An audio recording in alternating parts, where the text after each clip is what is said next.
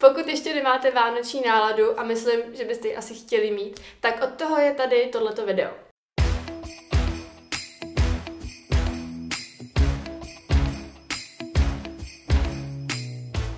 Včera jsme vyzdobili takhle stromeček, který jsem to rovnou No, rovnou ho schodím, rovnou využila k tomu, že to tady takhle natočím, protože to je takový pěkný růžek. Tohleto video je teda takový bucket list na vánoční náladu nebo na Vánoce doma, anebo prostě abyste se navnadili na ty Vánoce. Řeknu vám 10 bodů bucket listu, které mě napadly.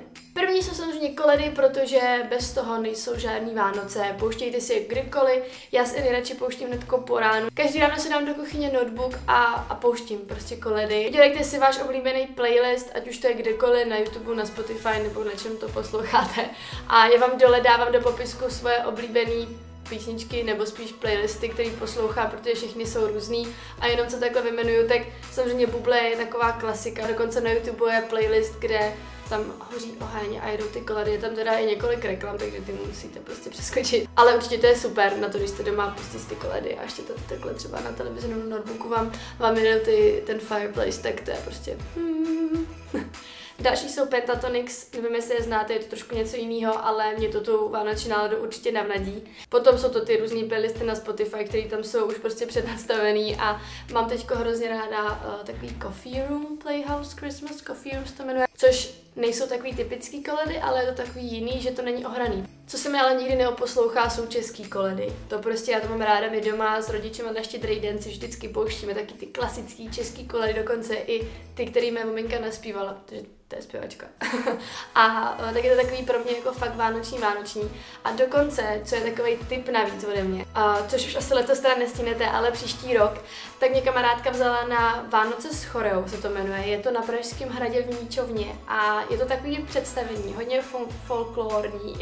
Ona ale říkala, že je to pro ní každý rok začátek Vánoc. Že tam prostě jde a naladí to na ty Vánoce a já musím uznat, že mě to taky navnadilo, když říkala, že někomu se to líbí, někomu ne, takže asi to nebude pro všechny, je to fakt takový ro představení.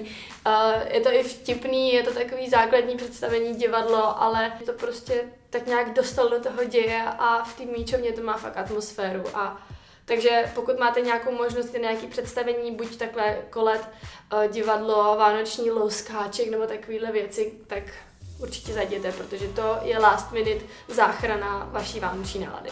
Za druhý, co mě vždycky dostane do té vánoční nálady, tak to je dekorování bytu. Já to prostě miluju. A vy už to víte z minulých vlogmasů, já prostě miluji vymýšlet nebo taky samozřejmě se inspirovat na Pinterestu, jaký udělat dekorace, chodit tam nakupovat a podobně, takže já si vždycky právě pustím ty koledy, zapálím si svíčky všude možně a tak nějak jako různě dekoru a fakt mě to dostane do té nálady úplně nejvíc. Což je tady ale jeden vykřičník a to je takový, že když jdete do obchodu takhle před Vánocema nebo kamkoliv, kde je hodně lidí, tak nevím, jak na tom jste vy, ale já hodně, hodně, hodně, hodně vstřebávám energii lidí, nevím, čím to je, ale jsem na to docela taková náchylná, že když v obchodě se lidi stresují, strkají do sebe, prodavačky nadávají na nějaký zákazníky nebo něco takového, tak já musím odejít. Mě to nedělá dobře a kazí mi to tu moji náladu veselou. Nebo se kterou tam jdu prostě si udělat hezký den, abych si udělala hezký byt. Takže to na to pozor, to se teda týká i vánočních trhů. Nevím, jak to máte vy, ale za mě je to nejlepší udělat během jednoho večera, že potom druhý ráno se probudíte, rozsvítíte to a je to tady takový jako hezčí nebo útulnější. Ale super je i si tyhle ty věci naplánovat, že si řeknete, že třeba začnete už v listopadu nebo 1. prosince to nakupovat, eh, kitky, třeba vánoční hvězda, mám tady tři, nebo, nebo chvojí si budete koupit, nebo různé svíčky, nebo různý jiný takovýhle dekorace. Takže prostě můžete třeba naplánovat, do jakých obchodů půjdete a pak to budete nakoupený a jeden den se nadekorujete, abyste si udělali takový očkrtávací list tohohle všeho, co chcete udělat a myslím, že se budete i víc jako těšit na to všechno. K těm svíčkám, k tomu zapalování samozřejmě patří i purpura a vůně toho domova, nebo toho bytu, té domácnosti, toho pokojíčku, nebo co si budete dekorovat. Prostě já miluju vůni Vánoc a vždycky a mám své oblíbené vůně, anebo tu purpuru a Františka moc nemusím teda upřímně. Takže pokud vám chybí vánoční nálada, určitě si udělejte takovouhle vůni a nevím, jablka z kořici, vanilky, nevím, co tady spočítám, ale to k tomu určitě patří. K tomu Pinterestu, co jsem říkala, tak tam si určitě ještě uh, zkuste udělat svůj nástěnku a nauložte si všechny vaše oblíbené obrázky nebo inspirace a třeba si je uložte nebo i vytiskněte a koukejte na to a myslím si, že i to při těch koledách a ty vůně a těch svíčkách vás naladí na ty Vánoce, že si budete připravovat, kde co, kde co vystavíte nebo jak to chvojí upravíte a tak, takže to určitě stojí za to ten Pinterest. Využijeme ho, co nejvíc to jde. Za třetí, když jsem byla u toho plánování, tak uh, myslím si, že adventní kalendář máte asi všichni, ať už je to čokoládový, uh, make-upový nebo nějaký udělaný z pytlíčků. A je to vlastně k tomu, abyste se jako natěšili samozřejmě na ty Vánoce, na ten štědrý den, na, to před, na tu předvánoční dobu, na tu dobu po Vánocích, na ty svátky. Takže to určitě musíte mít, pokud ještě nemáte. Já myslím, že minulý rok jsem běhala, to vám dám tady odkaz jak jsem scháněla adventní kalendář na poslední chvíli, letos jsem ho měla brzo, ale myslím si, že je dobrý si naplánovat i to dekorování a i takový tady ten budget list. budget, bucket list. Udělejte se svůj vlastní bucket list, abyste věděli, co chcete udělat, na co se těšíte a pak to budete vyčkrtávat a to vám bude tu vánoční náladu, nevím, bude vám uvnitř bublat, si myslím, čím dál tím víc. Když dekorujete byt, tak za čtvrtý určitě nadekorujte i sebe.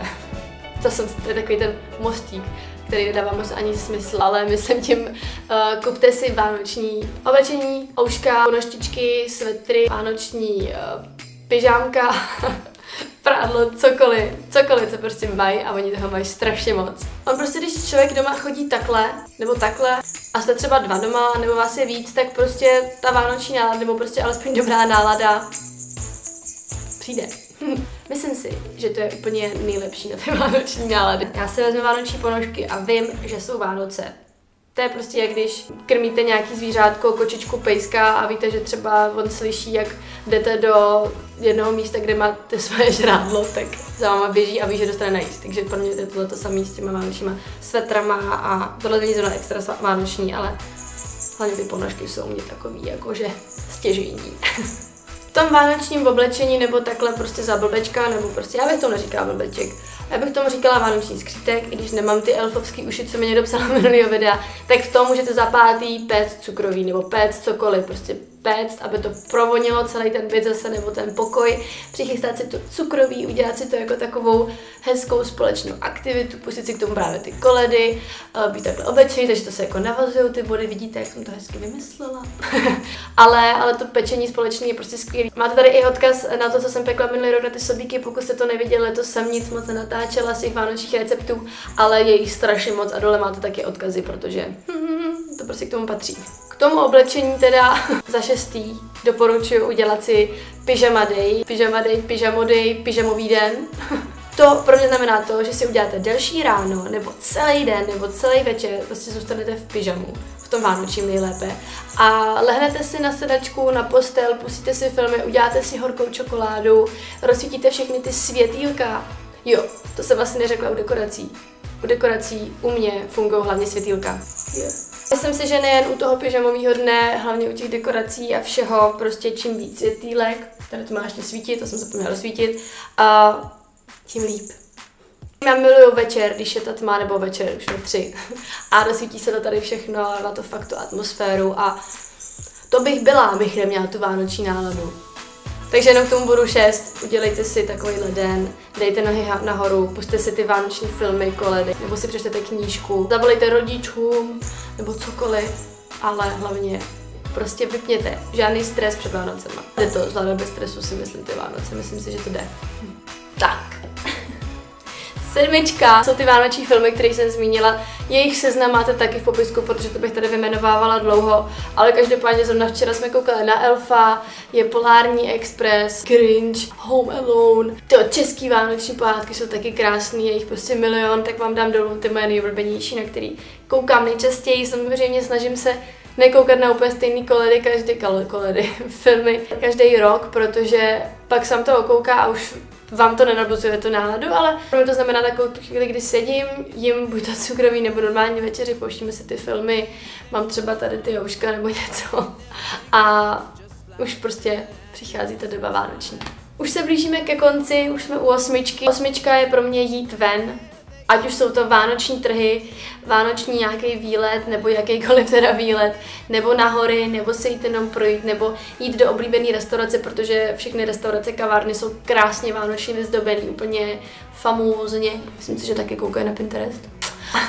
Tam tomu taky neuniknete. Rozhodně ne. A co se týká těch vánočních trhů, tak samozřejmě Drážďany, Vídeň, Londýn, ty jsou nádherný, ale to neznamená, že když se nedostanete tam, že ty trhy u nás jsou ošklivý, já mám ráda i trhy u nás. Jako v Brně, co jsem koukala, tak jsou nádherný. Já jsem teda se taky nedostala letos do zahraničí, minulý rok jsem byla na Drážděnech, a letos teda jako nikde, ale vůbec mi to nevadí, protože jsem byla v Českých Budějovicích a tam to bylo krásné, tam je to kluziště, zpívaly se tam koledy a bylo tam nádherný. V Praze Staromák je prostě boží, tam je teda dobrý mimo víkend, protože tam je ultra moc lidí, přes týden tam je jenom moc lidí a dát si tam ten svařák, tu griotku, pražený mandle, to já úplně miluju.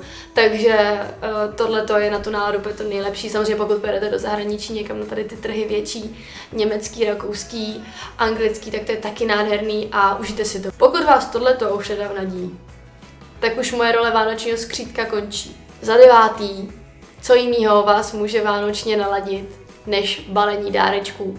Dárky já většinou balím teda dny před Vánocema, protože už to je takový to, že přichází ten Ježíšek, nebo Santa, nevím koho, pro mě to prostě Ježíšek. No a za desátý jsem to chtěla ukončit tím, že o čem vlastně ty Vánoce jsou, tak ty jsou o tom být teda spolu všichni, že jo, samozřejmě, nestresovat se a tak.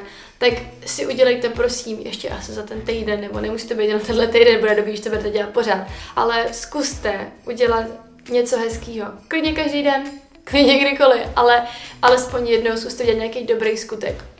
Komukoliv. Kamarádce, rodině, přítelovi, komukoliv prostě udělejte radost, úplně nečekaně. Překvapte je a věřím tomu, že i vám to zlepší tu náladu a um, naštíví vás duch vánoční, jak to říkají v těch pohádkách. Takže rozhodně něco hezkého udělejte pro někoho, nějaký dobrý čin, protože nevím, myslím, že budete mít z toho i vlastní dobrý pocit. No a úplně, úplně na závěr uh, vám sem dávám tady tu fotku. Je to taková hezká věc, kterou byste si měli připomenout, o čem ty Vánoce jsou. Tohle je teda anglicky, takže buy presents, be present. Uh, co to takový slovní říčky, když vyškrtáte, ale myslím si, že to je dobrý na. Tak jo, loučím se s vámi, koukněte do popisku na tipy, těším se u dalšího videa.